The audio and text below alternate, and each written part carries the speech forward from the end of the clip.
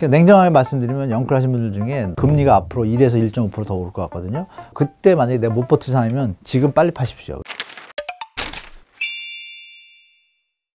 누구나 내 집 마련하는 그날까지 서기열의 집터뷰 오늘은 한문도 연세대 정경대학원 교수님 모셨습니다. 안녕하십니까? 네, 안녕하세요. 장기 하락이 이제 시작이다라고 하셨는데 올해 DSR 대출 규제도 굉장히 강화되고 있고 네. 기준금리도 여러 차례 올릴 것 같다고 예상이 되고 있는데 이럴 경우 집값에 영향을 또 어떻게 미치게 될까요? 모두에도 말씀을 드렸지만 금리가 경제 기본입니다. 루카스라는 교수가 합리적 기대 가설이라는 이론을 가지고 경제학상을 받으면서 노벨 그분이 케인즈 그 이론을 덮어서 정리한 내용이 뭐냐 이저 수요 시장에 참여자들인 가계기업 정부 특히 가계와 기업은 정부의 정책이나 경제에 따라서 앞으로 어떻게 될 것이라는 것을 선제적으로 합리적으로 기대해서 맞추면서 조정해 나가거든요. 금리가 오르면 어떻게 되겠어요? 집을 살려는 사람들은 수요가 당연히 줄겠죠. 어 이거 부담이 늘어나니까 내가 돈을 모아서 사야겠지로 바뀔 것이고 금리가 더 올라가면 어떻게 되겠어요? 투자를 했던 분들 중에 대출을 받은 레버리지가 착한 레버리지가 나쁜 레버리지를 바뀐 순간부터 부담이 되니까 투매나 경매로 갈 수 있는 길로 가게 되면 이 안 좋은 조건들이 겹치게 되면 아까 말씀드린 수요는 줄고 매물이 늘어나는 현상이 나타나면 시장의 충격이 커지겠죠. 근데 지금 우리가 그런 시장으로 지금 가고 있거든요. 이런 부분을 볼 때 금리 인상이 지금 충격적이라고 저는 보고 있습니다. 개인적으로. 가장 큰 하락 요인이다 이렇게 보시면 네네. 제가 볼 때 이번 시장은 금리 인상이 생각보다 충격이 클 것이다. 그 금리 인상에 대출 규제가 같이 겹치잖아요. 그래서 그런 부분을 같이 보신다면 그 힘이 내면에 나타나는 힘이 큽니다. 뭐 국채나 여러 부분 다 연결되잖아요. 지금 그게 이제 헷갈리는 혼돈의 시장의 상태가 왔기 때문에 약간 관망세로 돌아섰는데 아까 말씀드린 공급이 나오기 시작하면 그때는 조금 시장이 조정을 겪을 거다라고 또 다시 한번 말씀드리겠습니다. 그 다음 질문이 사실 공급에 대한 거였는데요. 아, 네, 공급이 네, 네, 네. 네. 공급이 늘어날 거라는 신호가 되게 분명하잖아요. 완전하죠. 신속 통합기획 재개발 어, 재건축도 그렇죠. 지금 시동을 걸고 있고 네. 그리고 삼기 신도시를 비롯한 공공 엄청나죠. 택지에서 공급될 물량들이 굉장히 많이 예정이 돼 있는데 공급이 현실화 되기까지 좀 시간이 좀 남아 그렇죠. 네, 있잖아요. 근데 공급이 과연 집값에 어떤 영향을 좀 미치게 될까요? 이것이 있습니다. 내년에 서울 아파트 입주 물량이 내년까지는 조금 적은데 그 다음에 되게 많습니다. 7만 호입니다. 우리가 맨날 듣는 소리가 2만 호, 2만 호잖아요. 근데 재작년에 7만 호를 인허가 공급을 했어요. 재작년이죠. 분양가 상한제 시행한다 그래가지고 단지들이 부랴부랴 아, 다 그렇죠. 했어요. 그게 물량이 좀 많아요. 그게 내년부터 좀 나옵니다. 후년은 많아지죠. 내후년에. 올해까지 는 힘들고 그게 겹치는 시기예요. 그래서 올해는 많이 힘든다고 판단하는데 물주 물량이 내년 되면 또 색깔이 달라지거든요. 하반기부터. 그러면 겹치잖아요. 일단 말씀하시는 사전 청약 3기 신도시 공공택지 물량이 약간 텀이 있어요. 미스매치가. 적으면 2년 반, 3, 4년인데 고기를 메꾸는 서울의 입주 물량이 좀 있는 거예요. 경기도도 좀 있고. 그럼 그런 부분을 연결해서 보면 그래서 대선에서 되는 분들이 중요한 건 다주택자 양도세 중과율을 한다 그랬단 말이에요. 그럼 1년을 다주택자 물량이 지금 전국에 200만 채잖아요. 그렇죠. 서울에만도 100만 채가 있는데 거기가 30만 채만 나온다고 생각해요. 지금 서울 아파트 매물 물량이 4만 5천 대인데 매달 거래가 몇 개요? 1000개. 4만 4천 개는 거래가 안 되는 거예요. 근데 그게 벌써 1년째예요. 1년째 4만 5천 개가 계속 떠 있고 1000개, 2000개, 그전에는 3, 4천 개. 이건 생각해 보셔야 되고 그 와중에 다주택자 물량까지 나온다고 가정하세요. 게다가 임대사업자, 단기 임대사업자 매물 물량이 또 나옵니다. 단기 임대사업자 만료되는 분들이 중과를 맞지 않게 해서 1년인가 2년 안에 좀 파셔야 돼요. 주택가격이 계속 하락할 것 같으면 빨리 팔 거 아니에요. 이게 겹치는 물량들이 지금 말씀하신 입주 물량 공급 매치 매치를 메꿀 거라고 저는 보고 있는 거죠. 그래서 생각보다 시장이 입주 물량 부족으로 인한 충격은 덜하다고 저는 계속 말씀드립니다. 예. 그리고 또 두 후보가 재개발 재건축 규제도 좀 완화하겠다 이렇게 얘기를 맞습니다. 하고 네. 있는데 정비 시장은 좀 앞으로 어떻게 좀 보세요? 재건축 재개발은 순서가 있습니다. 대선 후보들이 완화한다는 내용은 어떤 내용이냐면 이 과정에 대한 완화가 아니고요. 용적률이나 인센티브를 완화하겠다는 얘기를 한 겁니다. 자, 그러면 그것이 되는데 2년이 걸리고 지나고 나면 조합원들이 뭘 하겠어요? 사업 계획을 잡고 자기 집을 얼마 쳐주고 이런 관리 처분이란 사업 시행 계획을 잡고 있는데 그걸 인가를 해야 돼요. 사업 시행 계획이 얼마나 많이 바뀌겠어요? 지금 가격이 출렁이잖아요. 만약에 하락하게 되면은 원래 사업 계획이 지금 가격으로 했는데 만약에 제가 말씀드린 대로 15%가 하락을 했어요. 그러면 사업 계획이 15% 내려와야 되잖아요. 그럼 다시 해야 되잖아요. 이게 한 2, 3년, 3년 걸립니다. 조정하는 기간이 아, 그럼요. 계속 바뀌니까 시장이. 그렇죠. 그리고 그 시간에 관리 처분이라고 있어요. 이때 이제 뭐 임대주택 분양물 이런, 그러니까 보통 시작해서 빨리 하면 제일 빠른데, 진짜 주민들이 다 친척 관계다. 이럴 경우에는 그걸 가정할 때 제일 빠른 기간이 7년입니다. 어. 이 과정이. 근데 그거를 대선 후보들이 완화한다고 해서 7년 만에 되는 게 아니거든요. 이해되셨죠, 시청자 여러분? 그러면 이게 길어지거나 약간 트러블이 생기면 그냥 20년입니다. 그러니까 너무 장밋빛을 바라보시면 안 되고 재건축 투자를 많이 해주신 분들은 제 얘기를 뭐 100% 이해하실 겁니다. 중요한 것은 뭐냐? 정치와 경제가 지금 상황입니다. 그분들이 볼 때는. 물론 그 말씀, 그것이 다 전제가 좋을 때 이 요인들이 빨리빨리 넘어가면 호재가 되죠. 시장에 반영이 되는데 지금 요인들이 안 좋다면 시장에 반영이 안 돼요. 그게 어디서 나타나냐? 재건축, 재개발 현장 중에 특히 재건축 기대받는 음마 아파트나 대치동 미도 신성 통합으로 지금 막 작년 11월부터 많이 좀 떴어요. 떴는데 제가 팩트를 하나 말씀드릴게요. 팩트 체크는 뭐예요? 거래량입니다.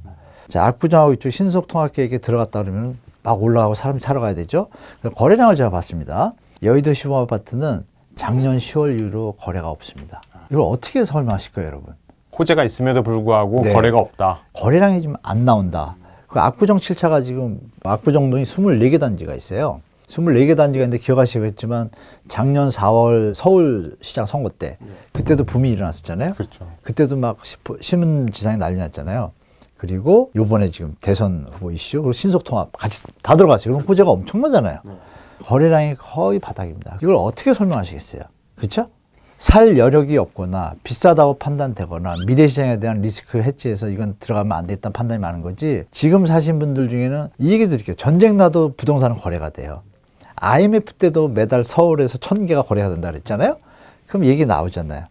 그 수준이란 얘기예요. 저는 사실 하락 폭락론자는 아닙니다. 그냥 하락해서 좀 안정되길 바라는 사람이고 경제가 좋아져서 같이 올라가는 걸 바라는 사람이에요. 그런 차원에서 조정을 거쳐야 우리가 또 다시 한번 올라간다라는 말씀드리겠습니다. 재건축 재개발도 결국에는 만약에 이 시장이 하락 국면에 접어들게 되면 사실 아무리 규제를 완화하더라도 쉽지 않다. 이렇게 살 사람이. 없으면 내려가는 거 아닌가요? 그래서 올해 가을까지 꼭 시장을 보시라라고 제가 말씀드린 겁니다. 예. 당장 시장이 어떻게 되든 확실하게 어, 확정할 게 마시고, 아니라 어, 좀 판단하지 마시고. 봐라. 네, 네, 네. 네. 가을까지만 제발. 변수가 많으니까. 많죠, 너무 네. 많죠. 네. 그렇다면 교수님 하락장이 이렇게 이어진다고 보면 무주택자들은 네. 과연 내 집 마련을 원하는 무주택자들은 어떻게 해야 될까요? 무주택자분들은 지금 올 가을까지는 100% 기다리셨으면 좋겠고 무주택자분들 중에 이제 청약 점수 있는 분들은 청약하시면 되고 일단 사전 청약을 해두시고 사전 청약은 해지를 해도 또 할 수 있습니다. 근데 일반 분 있잖아요. 서울 도심이라는 좋은 자리에 이런 분들은 당첨이 되면 재당첨 기회가 없습니다. 그러니까 그 부분을 기억하셔서 잘 판단하셔가지고 사전 청약 계속 하시는 거예요. 그리고 이 무주택자분들 중에 또 1주택자분들 중에서도 전체 물량 중에 85제곱미터 초과한 부분에 대해서 추첨제가 있습니다. 서울시도 있고 다 있습니다. 그래서 1주택자인데 조금 현재 뭐 아기가 태어나고 집이 좁으시다 그러면 손 놓지 마시고 조금만 서칭을 하시면요. 기회가 지금 많이 있는 제도로 지금 많이 바꿔놨습니다. 그래서 무주택자분들 중에 또 돈이 없다. 이런 분들 제가 많이 봤습니다. 청약을 해서 당첨이 돼도 돈이 없다. 그럼 어떤 방법이 있냐면 지금 말씀드린 사전 청약 첫 번째 하시고 두 번째는 가격이 하락되기 시작한다라고 가정하면 하락된 구축을 사시면 되고 세 번째는 일반 분양분이 지금 서울 시내 사전 청약이 아니죠. 이거는 바로 2년 반 뒤면 입주죠. 이런 것들은 현재 분양가 상한제로 제어가 돼서 시세가 한 15억이면 요즘 분양가 한 9억 선이에요. 주위 시세가 시세가 한 30억이면 한 15억 선이에요. 그럼 어떤 걸 하셔야겠어요? 그래서 구축에 대한 수요는 지금 확실히 줄 거니까 하락에 대한 기대감을 가지시고 사전 청약과 일반 분양에 들어가시고 조금 있으면 이제 경매 시장에도 이제 아파트가 나올 겁니다. 제가 볼 때. 지금 살짝 나오는데 서울의 아파트 경매 시장 저번 달에 낙찰률이 46%입니다. 그러면 54%는 낙찰이 안 된 거잖아요. 그럼 왜 낙찰이 안 됐을까요? 뭔가 선호하지 않는 아파트다 보니까 가격이 비싸다고 판단한 거죠. 자, 지금 뭐 불과 6개월 전만 해도 매물이 심할라 뭐 이- 이거 아닙니다. 시장이. 확 바뀌었죠. 네, 확 바뀌었으니까 그게 웃기잖아요. 우리가 막 달리기 하다가도 쓸라 그래도 안 쓰는데 이건 거의 뭐 정지 수준 느낌이잖아요. 그래서 시장이 좀 다르다는 걸 느끼시면 그러면 하락의 예측이 좀 가능하니까 한번 기다려보자. 그래서 다시 한번 시간은 가을까지 그 사이에 사전 청약 하시고 일반 분양도 접근하시고 그러니까 이게 하락까지 갈 가능성이 높으니 일단은 잠시만요. 지금 현재는 청약에 좀 집중하면서 기다려보고 하락하고 난 다음에 다시 매수할 수 있는 기회를 찾아봐라. 선택의 기회가 구축도 생기고 청약도 생기고 선택 폭이 넓어지지 않습니까? 네. 그게 현명한 좀 대처가 아닐까 좀 봅니다. 그러면 이제 1주택자들은 어떻게 될까요? 사실 영끌에서 네. 뭐 작년 재작년에 산 사람들 많잖아요. 이런 분들은 많죠. 지금이라도 파는 게 맞을지 사실 팔기도 아, 어려운 분들은 지금 팔 여건이 안 됩니다. 단기 매매를 이래서 양도세, 양도세가 없으면 다행인데, 그러니까 냉정하게 말씀드리면 영끌하신 분들 중에 너무 부담되시고 금리가 앞으로 1에서 1.5%더 오를 것 같거든요. 가상금리 하면 최대 2%인데, 그거 가, 감안하셔가지고 그때 만약에 내가 못 버틴 상황이면 지금 빨리 파십시오. 왜? 하락기에는 팔기가 어렵잖아요. 지금 빨리 파시고 버틸 수 있다 그러면 저는 한 채 있으면 가져갔으면 좋겠어요. 영끌 세대들은 3, 40대니까 아기도 있고 겨- 신혼 세대잖아요. 잘 부담하고 가면 이거를 지금 무리하게 하락된 가격에 파는 것보다는 결국은 조정을 거쳐서 6, 7, 뭐 3, 4년, 5, 6년을 고생하시겠지만 제자리 오잖아요. 그러니까 자기가 부담하기 힘든 상황이 되면 네. 미리 지금이라도 파는 게 좋고 버틸 수 있는 네, 지금 상황이면 예, 제가 볼 때는 빨리 파시는 게 좋을 것 같습니다. 조- 조정이 된다라고 이런 얘기가 딱 큰일 날 수도 있는데 더 올라가면 저는 진짜 욕을 먹겠죠. 근데 그러니까 이거는 100% 믿지 마시고 참고를 하시라는 얘기입니다. 그래서 만약에 너무 부담된다는 계산이 나오시면 지금 처리하셔도 매물이 지금 앞으로 5년 뒤를 보시면 어떻겠어요? 시장이 분명히 바뀌잖아요. 그렇죠. 그거는 전문가들도 알고 다 합니다. 여러분도 아시고, 그죠? 지금 잠시 아직 없잖아로 지금 응변하지만 속으로는 다 아시잖아요. 그리고 젊은 분들은 피부를 아직 못 느껴보셨지만 40, 50 세대, 60은 다 압니다. 40, 60이 안 사잖아요. 거래량 1000개예요. 15,000개 살 때 10%가 2030 세대인가고 그러면 1,500세대잖아요. 1,100개에서 50%가 500개예요.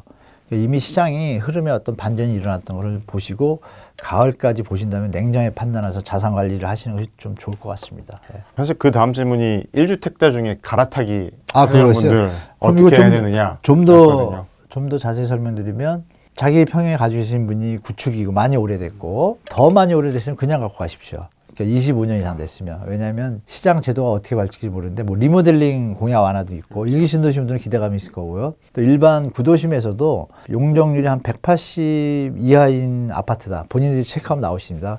그건 들고 가십시오. 25년 됐으면 구축이라도 갈아타기가 의미가 없습니다. 왜 30년 되면서부터 재건축 호재가 생기고 20년 차가 되고 이러면은 하자보수 보증금을 엘리베이터를 받고 이런 걸 쓰게 돼 있어요 법에. 그럼 다주택자들은 버틸 수 있을까요? 지금 상황에서 버틸 근데 다주택자들 중에 3주택자 이상은 다 버틴다고 봅니다, 저는. 다만 3주택자 중에 무리하게 전세 갭을 충분히 활용하는 네. 분들 있죠. 이런 분들이 계세요. 월세를 사서 조그만 집들 전세로 놓으면 전세 대출이 받쳐주니까 역전세 얘기가 지금 그래서 나오는 거거든요. 그분들은 위험해요. 역전세가 터지면 자산 관리가 안 되잖아요. 근데 그런 분 말고 전세 원래 들어있는 다주택자 중에 전세가 들어있고 월세로 들어있으면 더 좋죠. 월세는 부담이 없으니까 그렇죠. 보증금 내줄지. 그건 무조건 뭐 전략가 필요 없습니다. 그냥 가면 되고 이 전세를 개불해서 투자한 분들은 이제 자금이 들어갔을 때 3억 정도가 들었다 가정하면 2억이나 근데 이자가 올라갔잖아요. 그렇죠. 근데 이게 부담되기 시작하면 슬슬 부담되거든요. 근데 이게 1년을 가는 게 아니잖아요. 몇 년 갈 거잖아요. 그러니까 판단을 잘 하셔야 되는 거예요. 금리 오를 걸 대비하셔서 계산을 정확하게 하시면 됩니다.